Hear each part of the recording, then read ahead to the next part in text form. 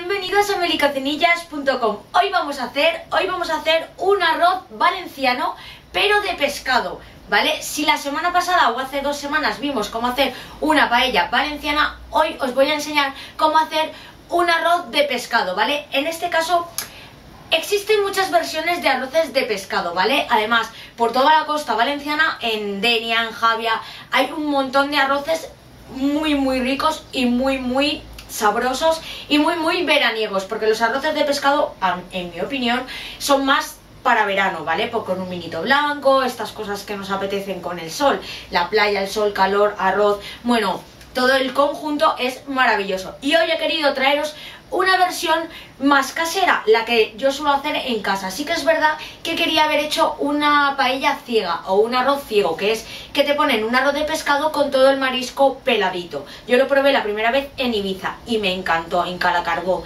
Bueno, si vais para Ibiza, ir a Calacarbó y comer en el restaurante de la playa la paella ciega. Está buenísima. Yo fui al mercado de Sagunto y llegué un poco tarde y pescado, pescado le quedaba poco. La verdad es que le quedaba poco. Pero bueno, algo podemos hacer. Así que vamos a hacer mi versión de, arroz, no voy a decir paella porque somos muy puristas con eso de decir paella, sí que es verdad que cualquier arroz en paella sería una paella, no valenciana, sería una paella o un arroz. Pero vamos a hacer un arroz de pescado que podemos consumir en toda la geografía española, ¿vale? ¿Qué es lo que tengo de pescado? Pues compré un par de sepias, ¿vale? Porque eh, me gusta como base para los arroces de pescado poner sepia. Así que es cierto que se pone sepia o calamar. Podemos elegir cualquiera de, las dos. yo también he probado sitios donde ponen un poquito de pulpo, pero un poquito porque el pulpo es más sabroso. Pero bueno, cogemos de base la sepia. Como pescado podemos coger diferentes tipos de pescado. Yo voy a probar la racha, ¿vale? Que es este pescado que hacía un montón de tiempo voy a quitar el perejil que no va en la paella pese que a Arguiña no le guste mucho, a nosotros en la paella no nos gusta el perejil. Bien, ni en los arroces.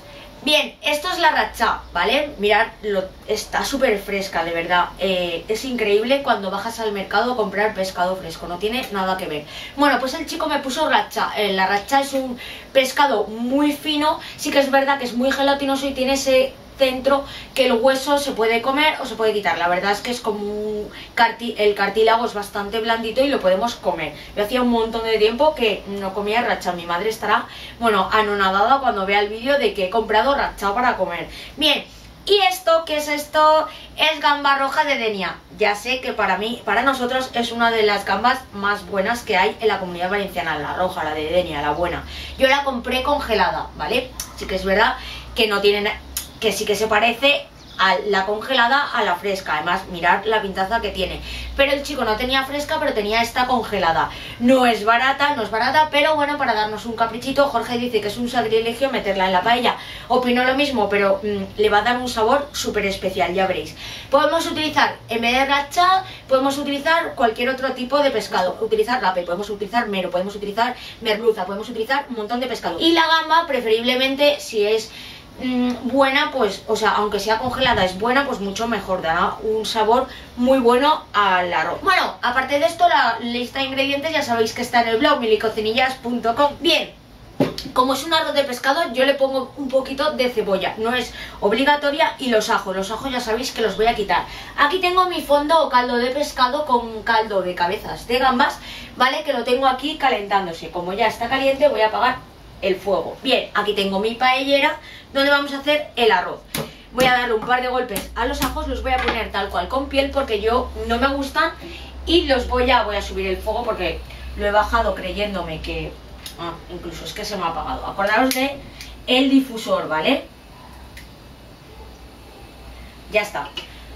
Voy a quitar los ajos, no quiero que se me cuezan, ¿vale? Se me había apagado el difusor, cosas que pasan. Bien, ya sabéis que el difusor es un difusor que compré en una ferretería. Cuando cocinas con gas, ¿vale? Pues es una buena forma para hacer paellas, ¿vale? Paellas o arroz. Se puede acompañar con una yoli perfectamente, pero yo, de momento, mmm, sí que en milicocinillas.com tenéis un arroz, de todas formas os lo pondré por aquí, donde puse aioli y sale en el vídeo cómo hacer aioli, por si alguien quiere hacer aioli. Lo importante en el aioli es que el huevo esté a temperatura ambiente, el huevo y el aceite estén en la misma temperatura. Y luego es picar un poquito de ajo con un poquito de sal y ale, dándole al mortero y dándole a la muñeca. Bien, es importante que nivelemos la paellera, ¿vale? A mí hay veces que, ves, no está muy nivelada, pero bueno, poco a poco la voy nivelando. Arroz. Yo suelo utilizar el arroz la fallera, es de los que más me gustan, ¿vale? he probado varios y es que con el de la fallera sale muy bueno. ¿Qué quieres ponerle bomba? Pues le puedes poner perfectamente arroz bomba. Y aquí tengo mi taza mostosa, que es la que utilizo para medir el arroz. Como el aceite ya está caliente, lo que voy a poner es un poco de cebolla. Simplemente un poco para que le dé un toquecito.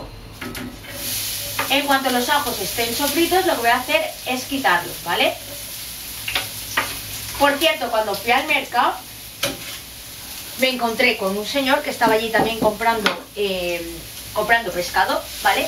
Y me dijo que había un arroz muy típico que yo no lo conocía y estoy, vamos, quiero hacerlo muy típico en la zona de eh, Sueca, el Perelló, Sollana y todo eso. Mis abuelos son de Sueca y yo ni enterarme. Y es un arroz de cebolla con caldo de cocido. Es muy típico y muy antiguo. Así es que mm, ya veremos porque tengo pendiente el hacerlo. El hombre me lo estaba explicando y a mí se me estaba cayendo, se me estaba cayendo la, la baba en el mercado. Me encanta ir al mercado porque es eso. La gente te va diciendo te va diciendo recetas, hablas con una abuela, además los abuelos son muy de, de hablar.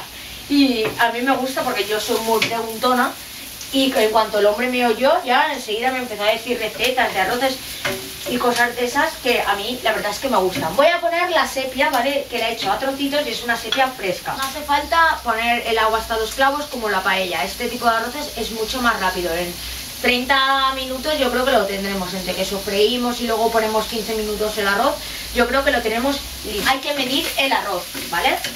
Es decir, pondremos, yo normalmente pongo una taza por persona, hay gente que lo mide por puñados, un puñadito o dos puñados por persona. Yo cojo una taza, normalmente en una taza hay unos 60-65 gramos de arroz, ¿vale? 65 gramos de arroz y luego le pongo el doble de agua, ¿vale? 65 gramos de arroz por persona. Se puede poner 100 gramos de arroz perfectamente y luego lo que sobre, pues oye, en un tupper y al día siguiente está súper bueno. Lo bueno de los arroces en paella ¿vale? Es que aguantan perfectamente para el día siguiente. Los arroces al horno también.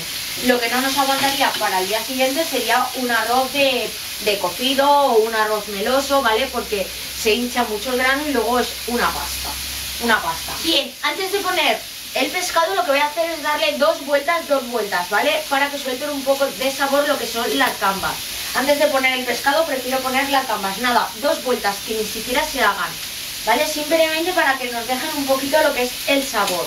Luego al final cuando añadamos el agua se las vamos a volver a poner. Pero voy a dejarlas dos minutos, dos vueltecitas y las saco. Como veis voy a ir sacando lo que son las gambas. Vamos a poner la rasca. Como veis no le he puesto sal. Ahora es el momento en el cual le voy a poner un poquito de sal a lo que es todo lo que tengo aquí dentro.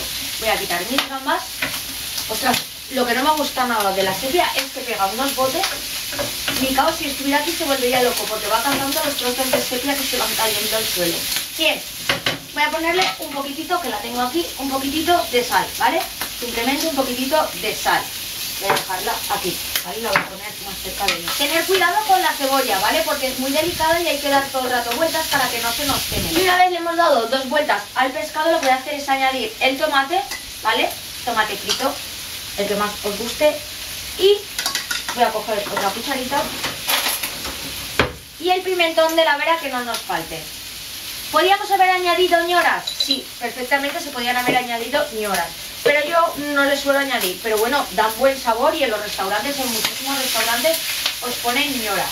Y ahora lo que voy a hacer, después de darle dos vueltas al pimentón, que es súper delicado, igual que el tomate frito, lo que vamos a hacer es añadir el arroz. Yo pongo una taza por persona más una de regalo, es decir, para dos personas tres tazas. Y lo voy a poner aquí para que el arroz coja todo el saborcito de lo que es el pescado y el fondo de, eh, de la paella. Y ahora sí lo que voy a hacer es coger mi cazo y le voy a poner el doble de agua, ¿vale?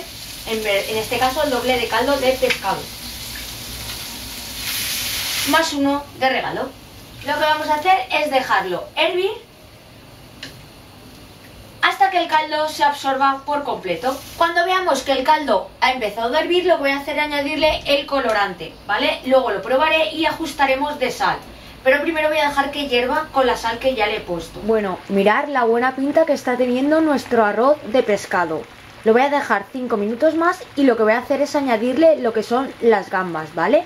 Pero mirar, así es como tiene que hervir, ¿vale? Que haga chop, chop, chop, chop y queda así el caldito como melosete, ¿vale? Ahora lo que voy a hacer es ponerle las gambas, ¿vale? Mirar, cuando ya vemos que el caldo ha reducido un poco, es el momento de coger nuestras gambas, mirar qué buena pinta tienen y lo que vamos a hacer es ponerlas en nuestro arroz.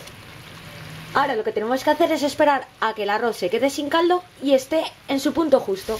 Bueno, transcurridos los minutos voy a bajar ya el fuego porque el rugimiento ya, como dije con la paella, este rugimiento nos indica que es que el arroz ya está. No sabéis la buena pinta que tiene, lo que voy a hacer es apagar el fuego y lo que tenemos que hacer es dejarlo reposar unos 7 minutos, de 5 a 7 minutos. Si veis que el grano se os ha quedado más duro de lo que nos gusta a los valencianos. A nosotros nos gusta que el grano se quede un poquito entero. Si veis que se os ha quedado un poco duro, no le añadáis agua. Lo que tenéis que hacer es, como, como dije en la paella, lo tapamos con papel de periódico, ¿vale? Y le ponemos un poquito de agua por encima. A mí se me ha quedado perfecto. Ahora os voy a enseñar la... Os voy a acercar la cámara y os voy a enseñar porque es que tiene una pinta estupenda. Qué ganas tengo de que lo hagáis en casa. Ya veis, en 25 o 30 minutos tenéis un arroz de pescado o una paella de pescado, bueno, buenísima y con cuatro cosas que encontremos en el mercado. Además, en verano pega un montón. ¿Qué es lo único que nos quedaría por hacer? Pues mira, yo voy a coger una pizarrita y un arete, ¿vale? Y voy a poner aquí mi arroz. Me voy a esperar el tiempo recomendado y lo vamos a acompañar con una copita de vino o con una buena cervecita bien fresquita. Que me voy a quemar, lo estoy presintiendo. Mirar qué buena pinta, pero es que además es que es una pintaza. Mirar qué pintaza más rica. Mmm. Bueno, voy a dejarla que me quemo.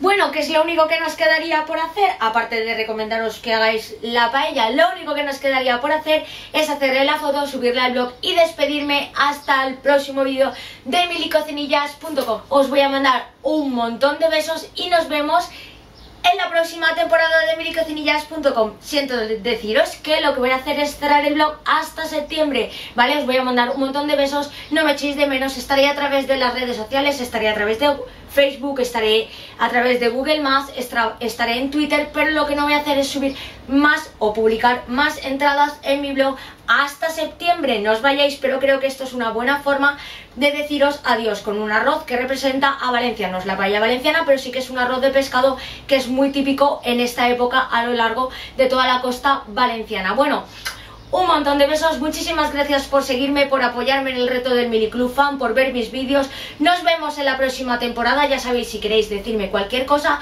a través de mi correo electrónico o a través de mi Facebook, ¿vale? Mili Cocinillas, que estaré allí en todo el verano, ¿vale? Voy a ir subiendo recetas, voy a ir haciendo cosas nuevas a través de mi Facebook y a través de mi Twitter, ¿vale? También estaré en la comunidad de cocina sin lactosa by Mili Cocinillas en Google porque hay que pegarle un empujón. Bueno...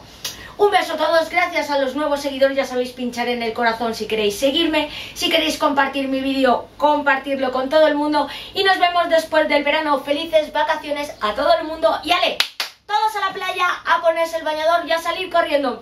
¡Hasta luego! El venao, el venao. El venao, el venao. Leyes Hoy vamos a hacer Uh.